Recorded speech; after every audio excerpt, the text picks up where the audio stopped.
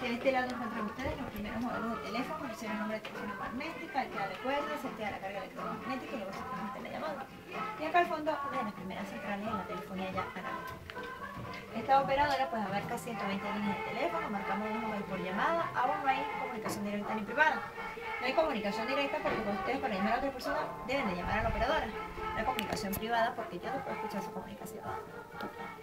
Y acá si ustedes gustan adquirir algún recuerdo, pues se venden postales, también pueden adquirir las estampillas para su pasaporte. ¿Cuáles son los cromos? Estos son.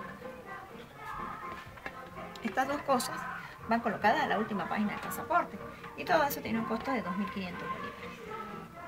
Si ustedes gustan llevar. Ahí está el alfabeto para transmitir los mensajes a través del teléfono. ¿Tú quieres, papi? Dos. Es acá obligatorio, eso si ustedes gustan. Bienvenida, Sí. señora. Adelante. ¿Cuál es el cero? Ah, pero señorita. Para poner dos discos. ¿Y otro pasaporte? ¿No El tiene? que vean mí. Ah. A dos nada más. A ver. Pues yo no tengo que hablar, creo que- Se las coloco, señorita. Le voy a colocar, para que no les hagan tan iguales, le voy a colocar seis estampillas diferentes uno del otro, ¿no?